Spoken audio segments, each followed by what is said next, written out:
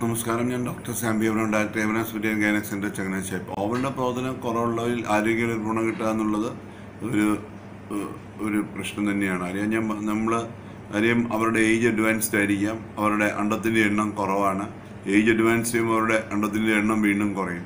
അപ്പോൾ അവിടെ നമ്മൾ അണ്ട പ്രീവിയസ് സൈക്കിളിൽ നമ്മൾ ഓവറി പ്രവർത്തനത്തെ ഡൗൺ ചെയ്യാനായിട്ടുള്ള ഇസ്രയേൽ കൊടുത്ത് നമ്മൾ പ്രൈം ചെയ്യും. അതിനുശേഷം നമ്മൾ അടുത്തെ നമ്മൾ എടുക്കുകയാണ് ഈ അണ്ടർ ഡെവലപ്പിയനായിട്ടുള്ള ഹോർമോണായ റീകോമിനന്റ് ഡെഫിസിറ്റ് എല്ലാം നമ്മൾ നമ്മൾ സ്റ്റാർട്ട് ചെയ്യാണ്.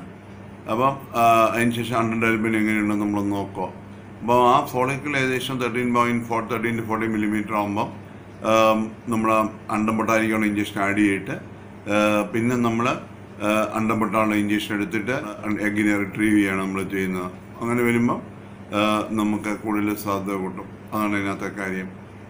അതിനുശേഷം നമ്മൾ ഭ്രൂണത്തെ നമ്മൾ സ്ഥിരീകരിച്ച് വെച്ചിട്ട് പിന്നീട് ട്രാൻസ്ഫർ ചെയ്യണം ശ്രദ്ധിക്കുന്നത്.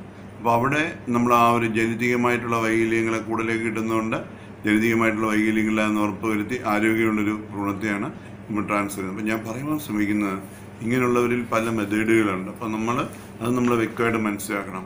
ആ ഭ്രൂണം സ്വന്തം കണ്ടെത്തി നിന്ന് കിട്ടത്തില്ല എന്ന് കാര്യം. നമ്മൾ തിങ്ക് ചെയ്യുമ്പോൾ നമ്മുടെ ഏജ് കുറച്ച് കൂടുതലാണ്. നമ്മുടെ ഓവറിയിലുള്ള അണ്ടത്തിന്റെ എണ്ണം കുറവാണ്. ഏജ് അഡ്വാൻസ് ചെയ്യുമ്പോൾ അണ്ടത്തിന്റെ എണ്ണം കുറയുന്നു.